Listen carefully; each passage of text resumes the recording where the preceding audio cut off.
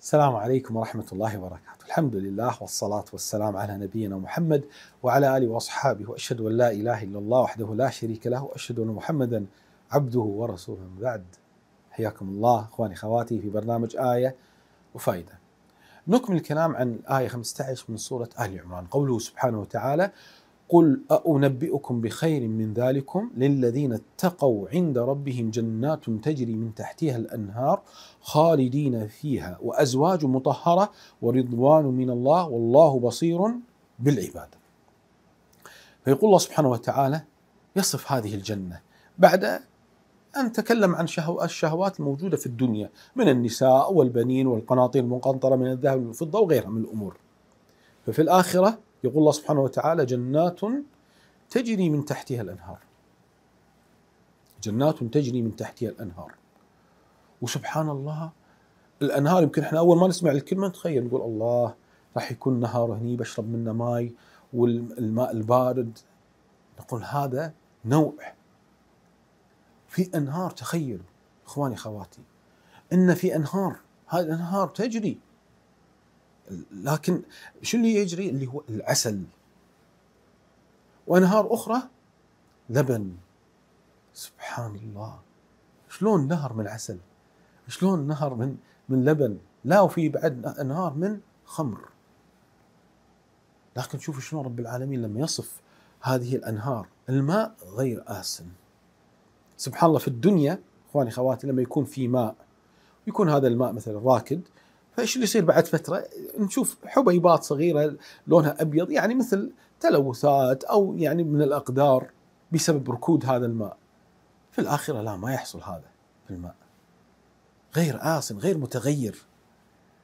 والعسل العسل سبحان الله مصفى.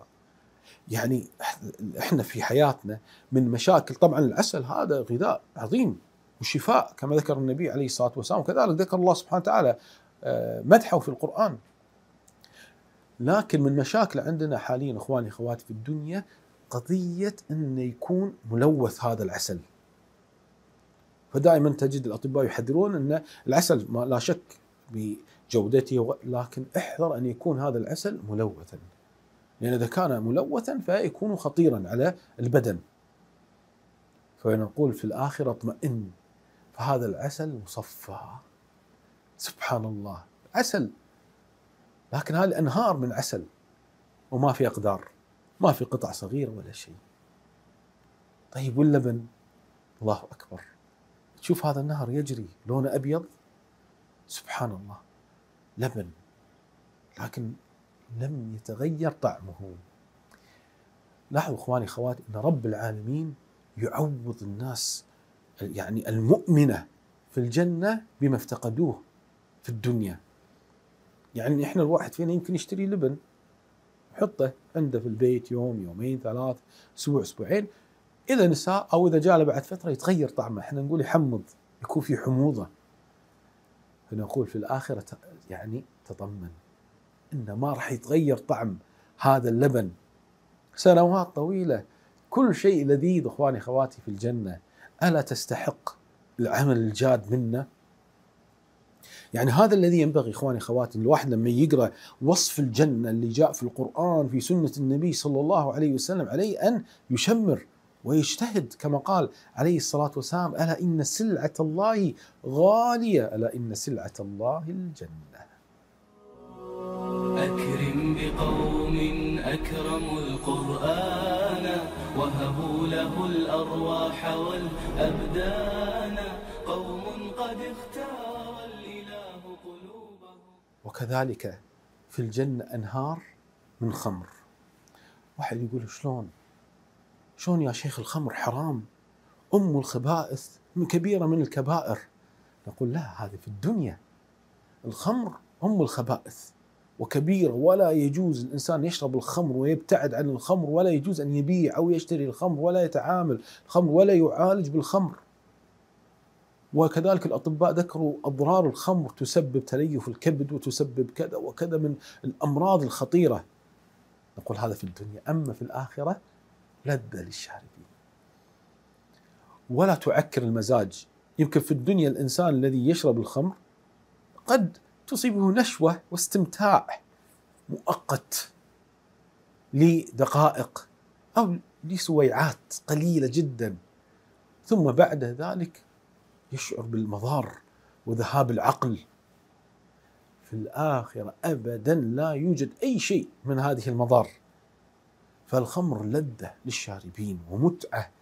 سبحان الله.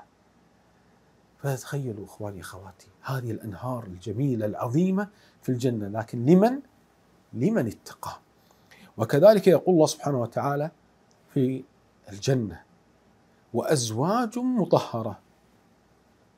في الدنيا كم من الأزواج يعاني؟ من النساء أو الرجال. يعني الزوج يعاني من زوجته والزوجة تعاني من زوجها. بسبب ماذا؟ بسبب كلام قبيح بسبب ضرب بسبب عناد بسبب أمور موجودة. طبعا ليس عند كل الأزواج لكن الكثير من الأزواج. في الآخرة لا يوجد أي شيء من هذا الكدر. فالأزواج مطهرة من الأمور الحسية السيئة وكذلك الأمور المعنوية السيئة. يعني مثلا في الدنيا الإنسان مثلا الرجل يذهب للخارج ويعمل وأكرمكم الله يصيبه العرق خاصة في البلاد الحارة فيرجع رائحته كريهة فقد تتضايق منه الزوجة. في الآخرة لا يوجد هذا الأمر. الرشح سبحان الله رائحته طيبة. يعرق الإنسان لكن رائحة طيبة. لا يوجد أي شيء يكدر الخاطر.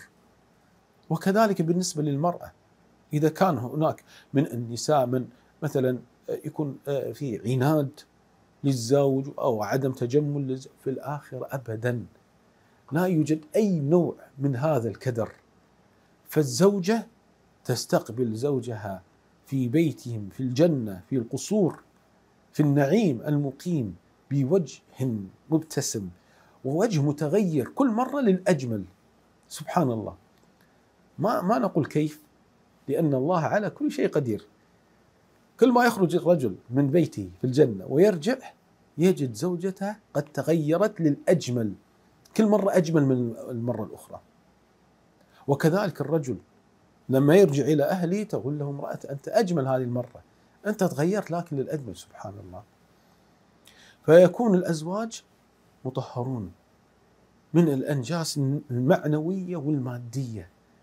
ما في حقد ولا في غل ولا في ضغينة ولا في خلاف ولا في طلاق ولا ولا في عراك.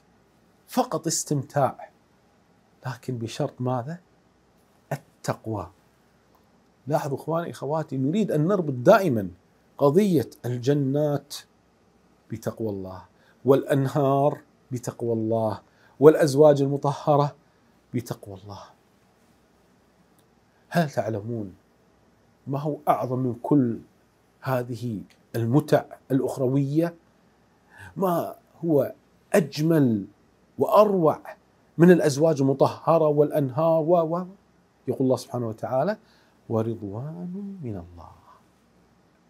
أعلى نعيم أو من أعلى النعيم في الجنة أن الله سبحانه وتعالى يحل على أهل الجنة رضوانه.